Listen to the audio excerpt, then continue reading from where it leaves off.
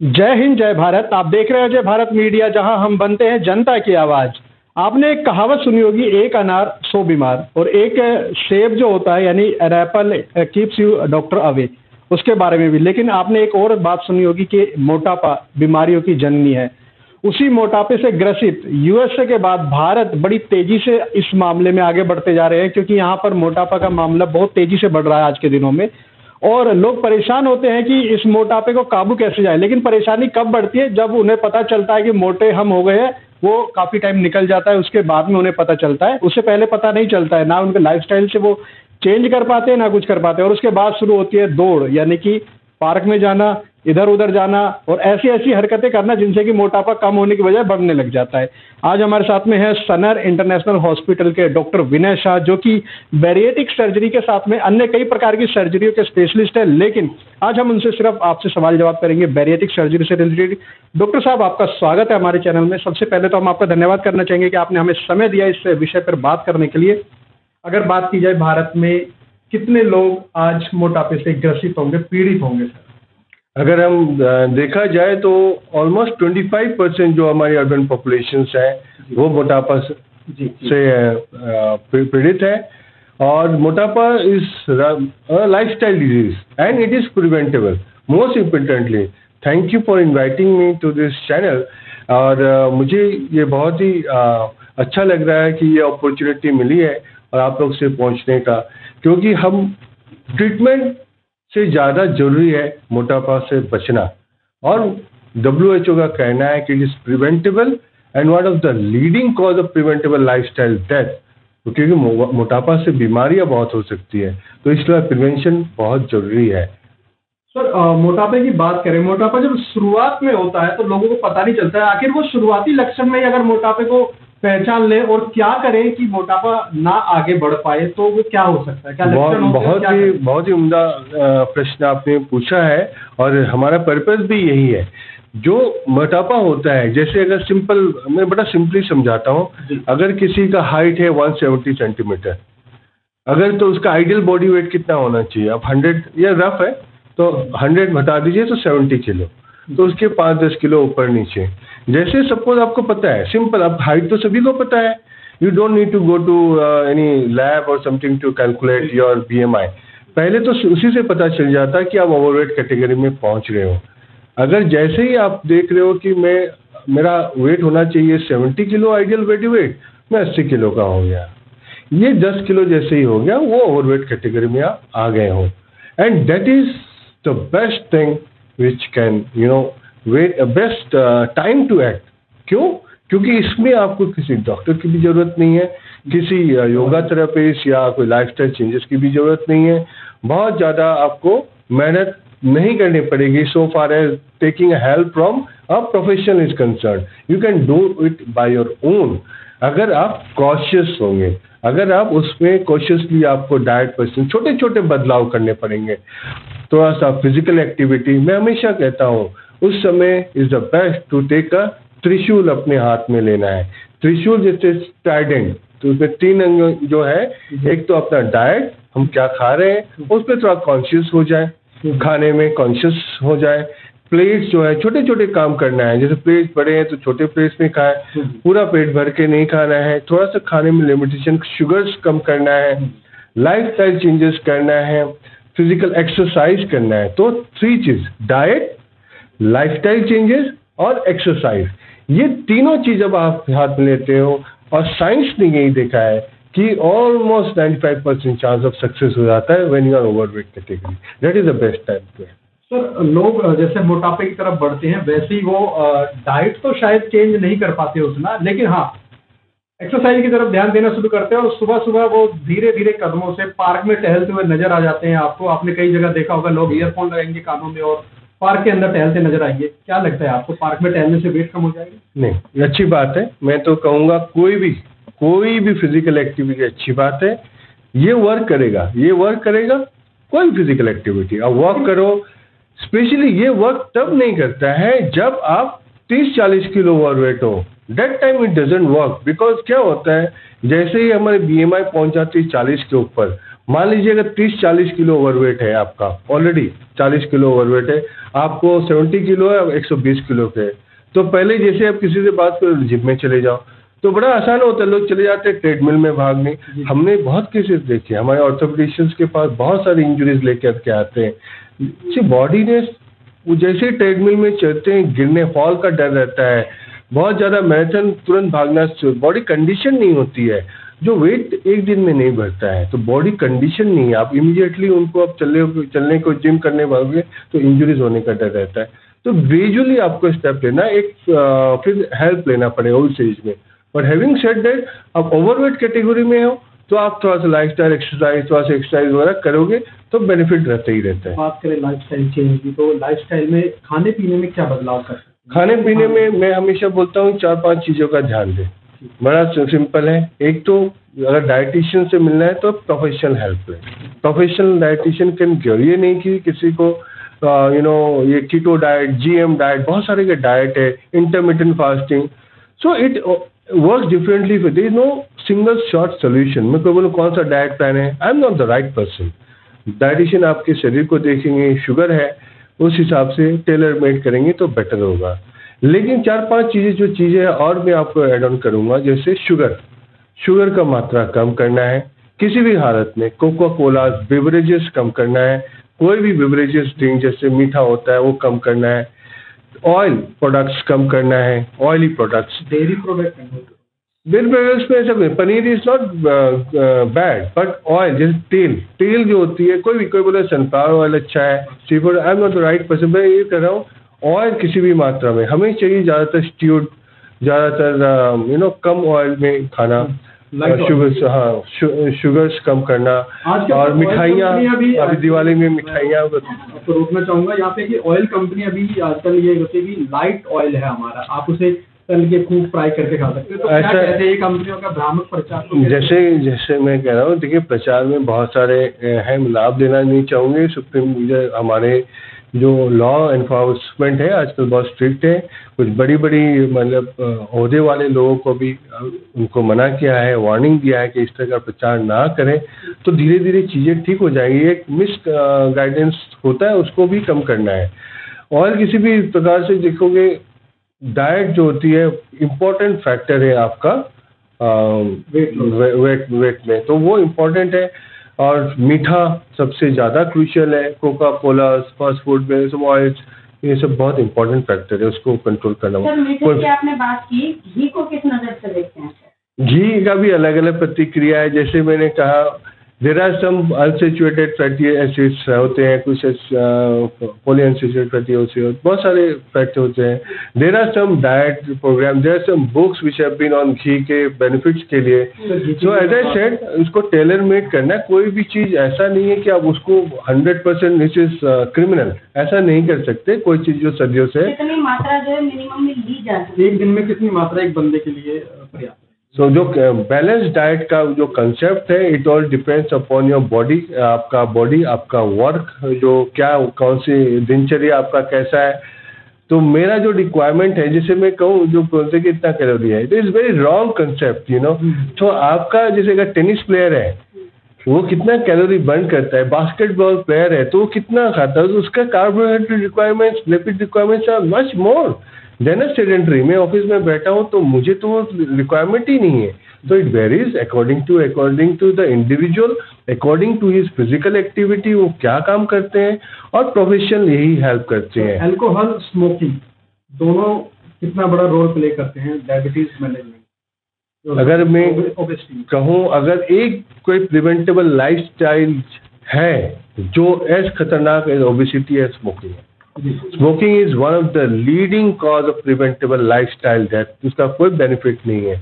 Similarly alcohol चाहे जितनी भी स्टडीज़ आ जाए मॉडरेशन में रखें उसको शरीर में लिवर फैटी लिवर मोटापा से पहले वो लिवर आपका खराब करता है किडनीज में असर करती है and together when you are diabetes and taking alcohol and smoking is a deadly combination खाने पीने में आपने बताया बदलाव कर सकते हैं लेकिन खाने में क्या कुछ ऐसा स्पेशल कोई फ्रूट है या कुछ खाने की ऐसी कोई चीज़ मिलेट्स वगैरह जिससे कि आपका मोटापा जो है रुक जाएगा वो भी थोड़ा सा बताएँ।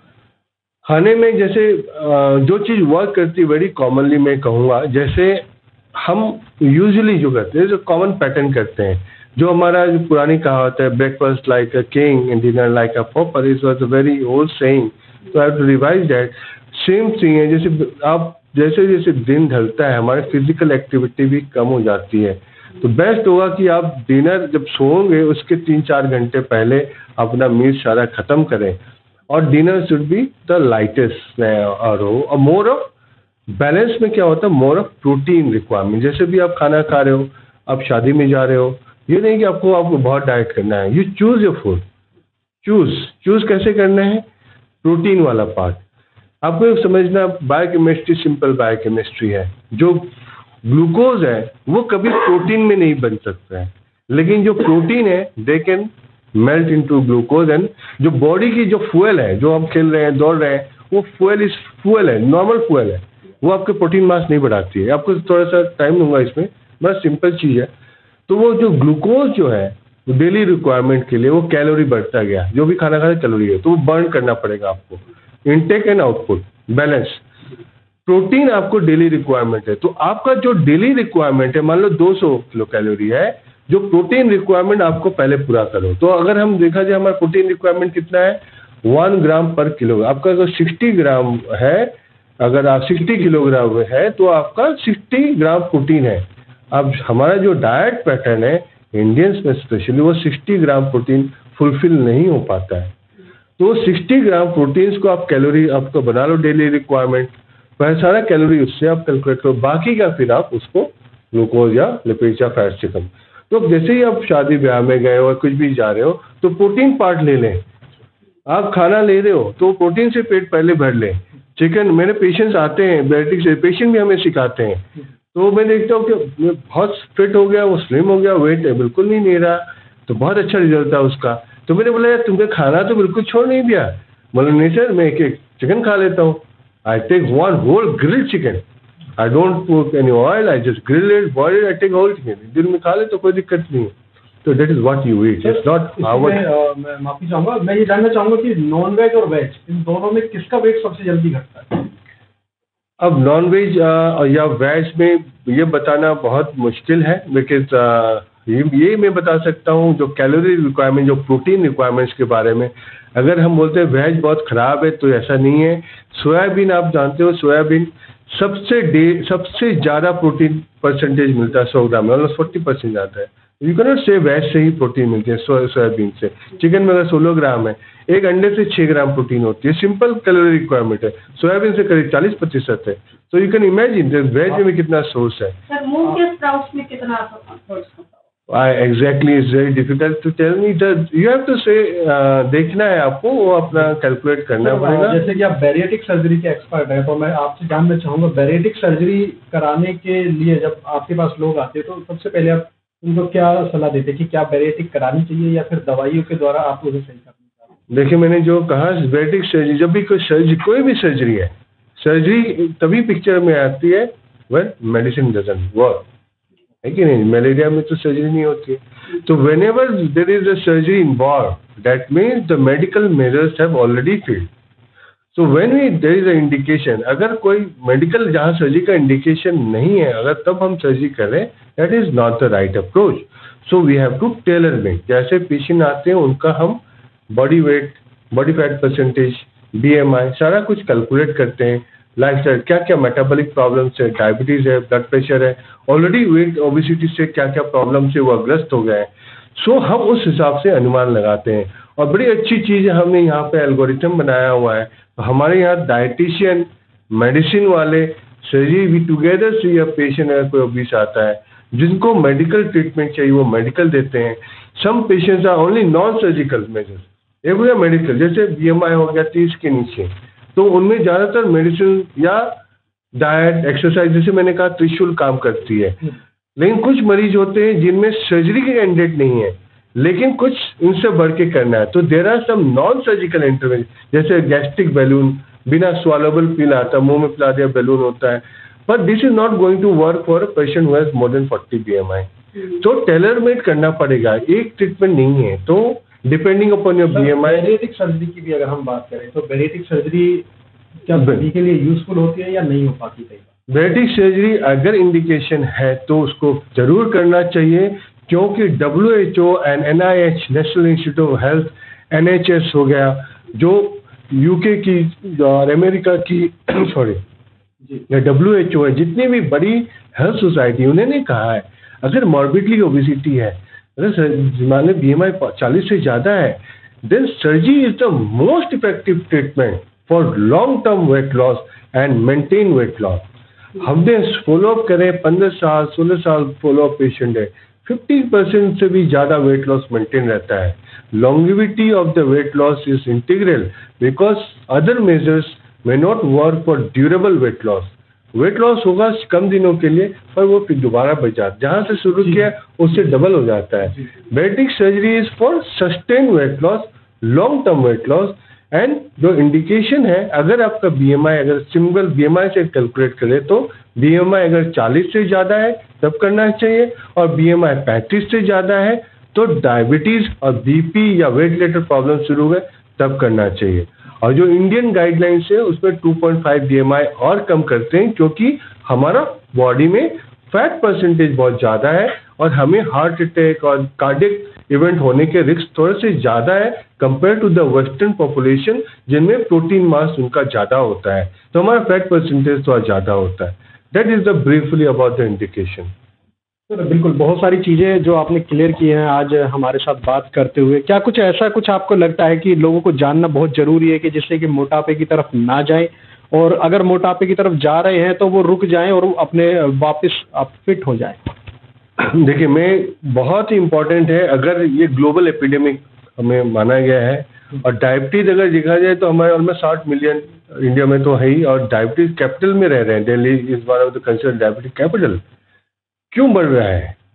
डायबिटीज़ सबसे बड़ी अगर ओबिसिटी से रिस्क अगर माना जाए टाइप टू डायबिटीज़ का ओबिसिटी के साथ लिंक है, और इंडिया में बहुत ज़्यादा, और diabetes and obesity and together जो डायबिटीज़ होती है, उनमें ऑलरेडी बहुत सारे प्रॉब्लम्स ऑलरेडी सेट इन हो जाते हैं। अगर ओबिसिटी और डायबिटीज़ डायबिसिटी जिसको बोलते हैं this is together very deadly and बहुत ज़्यादा रिस्क बढ़ जाते हैं शरीर को कार्डियोवास्कुलर तो इसलिए हमें उसको बचाना है। उस उस, क्योंकि हम, अगर ट्रीटमेंट जब करते हैं तो हमें लगता है शुगर में बोलते फास्टिंग शुगर कम करना है एच डी वन को ट्रीट करना है इंसुलिन की ट्रीटमेंट बढ़ते जाती है बस शुगर तो ग्लोबली कम नहीं हुआ। तो that is why surgery has come into the picture and today surgery is one of the major major important role in diabetes control for those are candidate और इंटरनेशनल वन मिनट और international diabetes federation जो medicine ही treat करती है जैसे कहा मैं surgery का बता जो मेडिसिन की सोसाइटी है जो इंटरनेशनल डायबिटीज़ फेडरेशन उनका ये भी स्टेटमेंट है अगर आपका बी एम आई चालीस से ज़्यादा है और आपको डायबिटीज़ है तो आपको प्रायोरिटी सर्जरी पे जाना चाहिए। क्योंकि मेडिसिन इज़ नेवर एबल कितना असर पड़ता है आपका overweight almost eighty percent seventy to eighty percent लोगों में फ़र्क पड़ जाता है जो गुड ऑस्टियोआर्थराइटिस जो होती है बहुत सारे पेशेंट होते हैं जो ऑस्टियोआर्थराइटिस घुटनों का दर्द होते हैं। लेटर ऑन उनको सर्जरी करना पड़ता है। यू कैन प्रिवेंट दैट तो जैसे जो मैंने कहा ना, जो इंश्योरेंस कंपनियों ने भी इनको इसीलिए आई डोंट नो फाइनेंशियली भी उनके लिए बहुत ज़्यादा बर्डन नहीं है। क्यों? क्योंकि देखा गया इवन कोरोना कोरोना में अगर स्टडीज़ आप देखोगे, वो पेशेंट जो मोटापा थे कोरोना में they require more ventilator stay and there more cost to the burden to the hospital उनको ज़्यादा कॉस्ट लगा हॉस्पिटल में स्टे बढ़ा उनका। वेंटिलेटर मैं नहीं बोलता हूँ कि मोर्टिलिटी रेट्स वर सिमिलर और नॉट बट वेंटिलेटर स्टे या वेंटिलेटर से बाहर निकलने में हॉस्पिटल स्टे सब कुछ उनका बढ़ गया। तो यही रिकवरी बढ़ जाता। तो ये जो obesity obese group of population है, उनमें कुछ ना कुछ प्रॉब्लम होते रहे कल शुगर हुआ बीपी हुआ, घुटनों का दर्द है। They will have frequent hospital so visit the cost to the family cost to the insurance company will be much higher and bariatric surgery जो कॉस्ट हम की बात करें see cost is never a factor while treating a disease but अगर overall cost देखा जाए तो cost is very minor to की हम बात करें सर भारत के अंदर बैरियटिक सर्जरी को कराने में कितनी कॉस्ट आ जाती है एक नॉर्मल अगर आप Again, as a doctor, मैं really don't like to you know talk about cost, but uh, मैं CGHS गाइडलाइंस के बारे में अवेयरनेस के लिए कहूँगा जो सेंट्रल गवर्नमेंट की जो पैकेजेस वगैरह होती है जो गवर्नमेंट फ्री में कराती है उनको almost two point two five तो प्राइवेट में भी उतनी ही अराउंड होता है थोड़ा सा टेन ट्वेंटी थाउज़ेंड रुपीज़ ज़्यादा है बस ऑलमोस्ट सेम होता है। right so that is for the awareness of the even the government officials they can get it free by the those who are government approved hospitals i am not a government hos- approved hospital but if you are a candidate and you are having a government employer you should go forward look for the credential of your doctor देखिए उसका experience होना चाहिए जी eye surgery या bariatric surgery में बहुत result है हमारे जो ऑल इंडिया इंस्टीट्यूट में है आपने आज तक अपनी लाइफ में अगेन आप जैसे कहते हैं numbers is something which I do not like हाँ हमने जब I started way back two thousand seven so you can imagine उस समय बैटिक सर्जरी बहुत ज़्यादा पॉपुलर भी नहीं थी. एंड उस, तब से हम लोग बैटिक सर्जरी कर रहे हैं और उस समय बैंडिंग करके एक सर्जरी होती थी. बहुत सारे पेशेंट विदेशों से आते थे. और मोर देन हंड्रेड सर्जरीज होती है. हाँ तो और more important is other than the numbers when you do a surgery, I always say, patient, that patient is important. You should not look for the numbers, कितने numbers आप कर रहे हो. सक्सेस रेट आपके पेशेंट जो आए हैं, क्या वो घर जा पा रहे हैं? ठीक है सर। बिल्कुल आपने सही कहा और हम अलग अलग विषय जिसके बारे में आप एक्सपर्ट हैं, उनके बारे में हम आपसे फिर दोबारा मुलाकात करेंगे। हम अपने दर्शकों को बताना चाहेंगे, यदि आप कोई और क्वेश्चन ऐसा चाहते हैं जो कि आपको लगता है कि आप जानना चाहते हैं डॉक्टर विनय शॉ से, वो आप पूछ सकते हैं कमेंट बॉक्स में। हम दोबारा से इनकी साथ मिलेंगे, इनकी बात आपसे कराएँगे। रूबरू होंगे फिर से एक बार डॉक्टर विनय शाह के साथ में। देखते रहिए अजय भारत। जय हिंद, जय भारत।